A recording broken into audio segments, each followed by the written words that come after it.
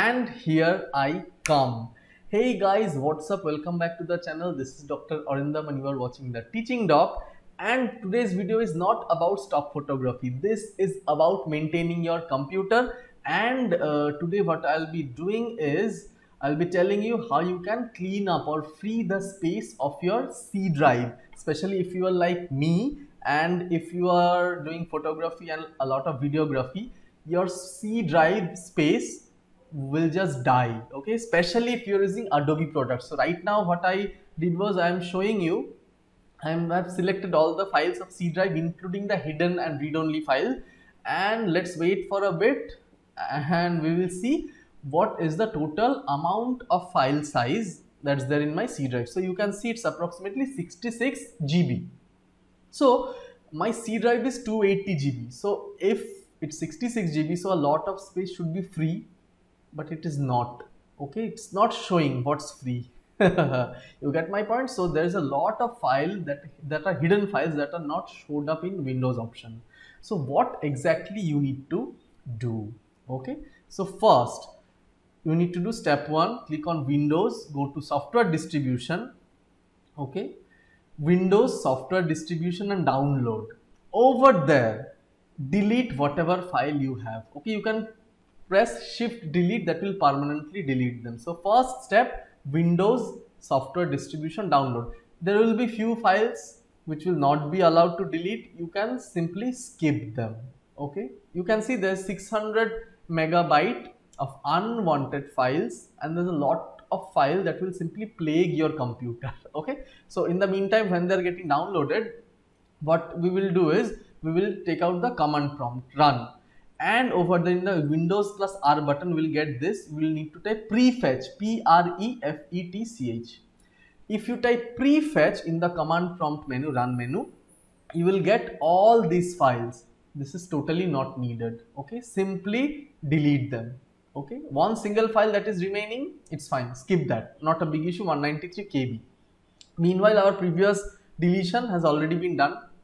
So now again you need to keep on run or command or cmd whatever you want and then you need to type temp okay? Most of you already know this windows temp there's a lot of temporary files over here not needed at all. What you need to do you need to select all and then simply press delete. Whatever is not allowed you can skip that one okay? Till now please follow me. If you are having problem with your c drive space okay getting filled please do what i'm doing in this video. And then we can continue with your stock photography. Now next you need to type percentage temp and percentage okay? This command will take you to the local data. So you see app data local temp there's a lot of temporary file.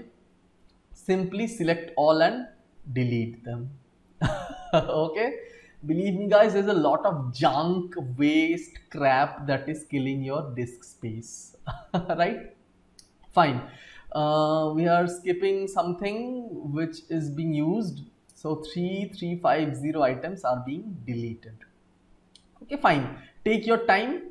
Delete in the meantime. What we will do is okay i'm doing it real time. Okay i have not pre-recorded this session so whatever happening it's happening live. So next i'll go to windows and properties and click on disk cleanup. Okay over there tick on every option. So tick on every option that's there. Okay so windows disk cleanup click on every option and then click on cleanup system files. Okay? In them in the tab in the windows properties tab there will be something else. Okay you just need to wait till this windows update continues and then again this window will show up. Okay do you want to permanently delete these files? Yes. There you need to click on yes. The first step is the calculation step and the second step is actual deletion of these files.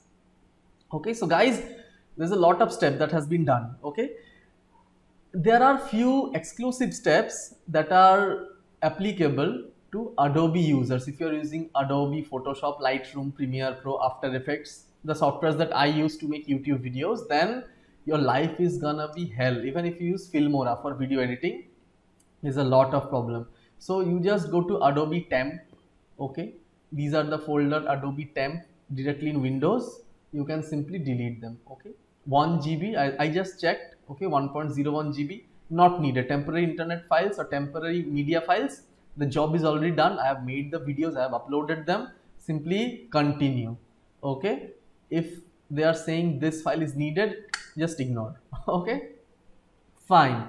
So let me think what can be the next step. There are still a lot of things that needs to be done. Okay? You can say I have merely deleted anything huh? but you will see the magic soon.